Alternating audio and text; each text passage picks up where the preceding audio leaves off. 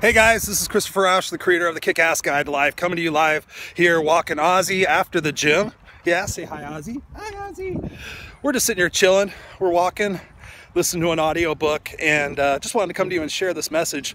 Um, somebody asked me the other day, you know, they're like, Chris, what do you do when you're when you feel like you're lost or you feel like you're just floating through life? And you know, what do you what do you do? And I said, you know, it's a really great question. Um, I've experienced that. It's it's human to actually experience that. Um, it means really that you don't know what your why is. Uh, when you think about it, when you know what your why is, you know what your how is.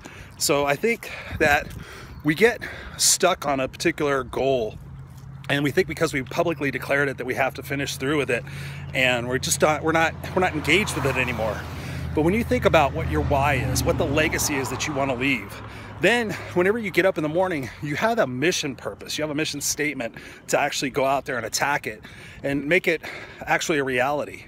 So I know for me, my my goal was to become like this famous motivational speaker, go tour the world, you know, helping people with my message.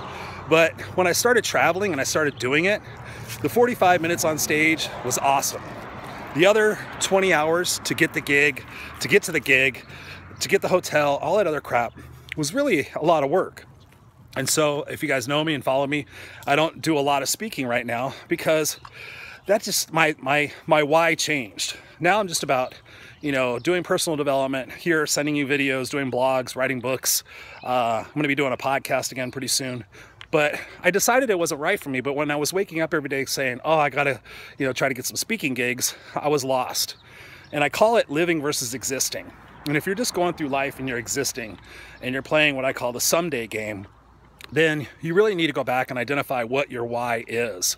And I really encourage you to write your eulogy. And I know uh, something I do with my coaching clients because when that is your like your ultimate goal, my goal is that when I die, pass on to the next journey, whatever it is, that you know I'm going to be remembered for this. And when I did it, at the time I was uh, uh, taking singing lessons. I wanted to start a band. I was doing auditions. I was doing a bunch of shit. And then I realized that actually I wanted to do speaking and coaching and personal development. There was nothing in there about Christopher Rausch was a great guitar player. So I really encourage you to write your eulogy. And then every day you wake up and you fulfill that eulogy. So, and think about that. And also, another tip is to, you know, write, you know, gratitude journal or whatnot, because when you're actually feeling grateful, let me stop for a second. Uh, I don't know if you're getting dizzy. When you feel grateful and you just understand, you know, that you have to embrace the journey, uh, that's part of life. The last year and a half, I've really taken a step back from everything, you know, to compose myself and to go through this kind of funk in a way so that I could help you guys. So if I've experienced it, then I can speak to it.